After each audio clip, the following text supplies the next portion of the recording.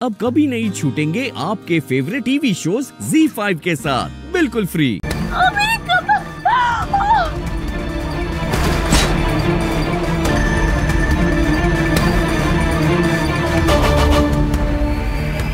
दर्द हो रहा है? हर बहुत दर्द हो रहा है।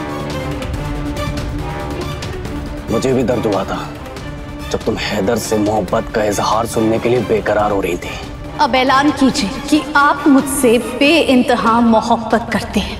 मेरा दिल जल रहा था जब तुम हैदर की बीवी होने पे फक्र महसूस कर रही थी। मैं किसी की गुलाम नहीं मैं हैदर की बीवी हूँ। मेरा खून खोल रहा था जब तुम हैदर से लिपट रही थी।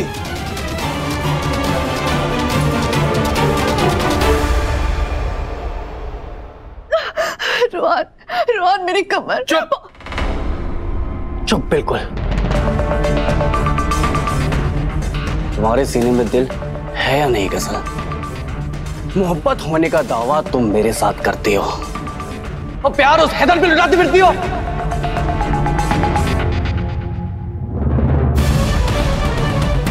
मैं तुम्हें धक्का नहीं देना चाहता था, गज़ल, मगर क्या करूँ? तुमने दर्द ही मुझे ऐसा दिया।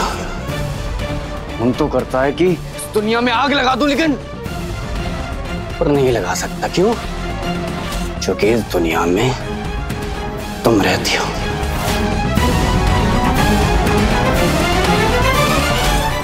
क्यों झूठ बोला मुझसे गज़ल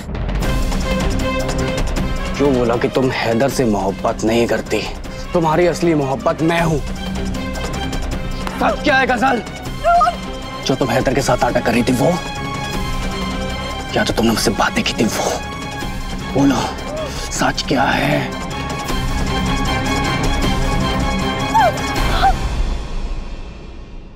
रोहन, पागल हो गया तुम? हाँ?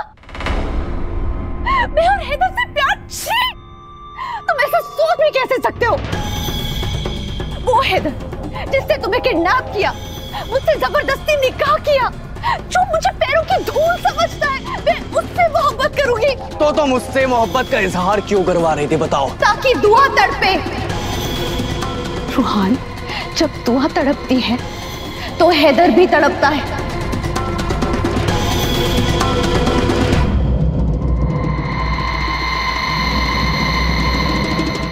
ऐसे ही क्यों आ गए? अब जाइए यहाँ से। अगर हफीज भाई ने आपको देख लिया तो फिर से पीटना चालू कर देंगे।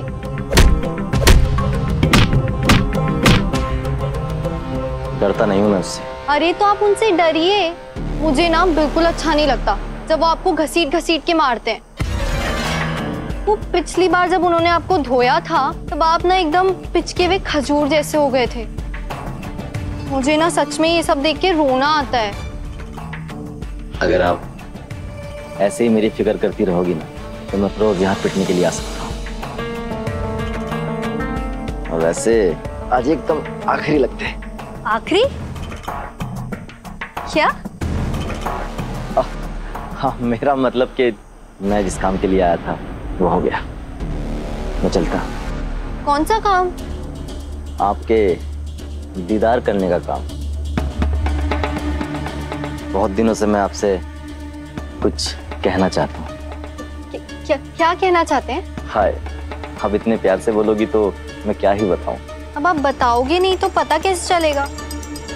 यू आर राइट अब दिल की बात रबा पे लेके आनी ही पड़ेगी। मैं आपसे दोस्ती करना चाहता हूँ। दोस्ती? दोस्ती क्यों करनी है? मेरे पास ऑलरेडी एक दोस्त है मेरी कायनात। तो मुझे भी बना लीजिए ना। और तुमको क्या लगता है कि मैं उस भुने हुए पापड़ से मार खाने के बाद भी यहाँ क्यों आता हूँ?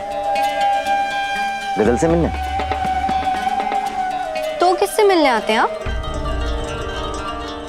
मैं सिर्फ़ और सिर्फ़ आपके चेहरे का दीदार करने आता हूँ।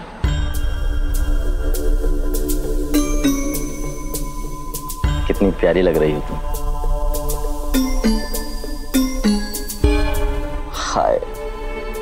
कैसे फुदक फुदक के शर्मा शर्मा के भाग रही।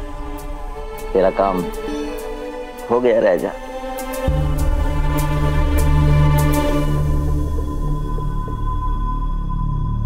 फ़िलहाल रोहान से पूछे कि वो इतने वक्त तक कहा था किस हाल में था और ये हाल कैसे हुआ उसका? बड़े में मैं आराम करना चाहता हूँ कुछ समय के लिए। हाँ। प्लीज़ प्लीज़ आप मुझे आराम करने दीजिए।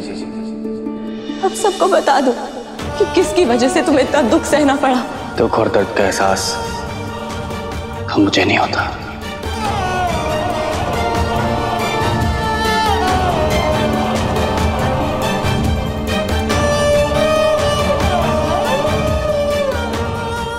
जो मैं सोच रही हूँ, वो सच ना हो मेरे मौला।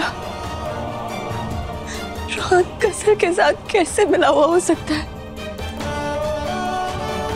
नहीं, रोहन कसर फिर से कैसे भरोसा कर सकता है?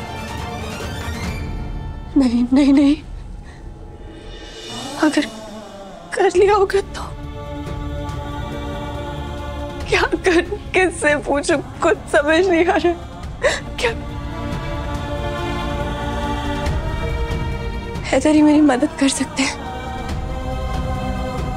बड़ी से बड़ी मुश्किल हैदर से बात करके सुलझ जाती है। इनसे बात करके ये उलझन भी सुलझ जाएगी।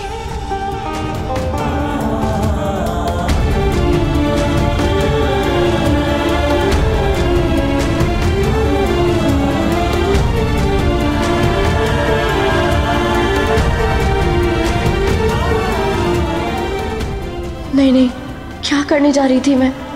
बड़ी मुद्दत के बाद रूहान और हैदर के बीच दूरी खत्म हुई है। अगर मैंने ये बात निकाली तो दोनों में फिर दूरियाँ बढ़ जाएँगी।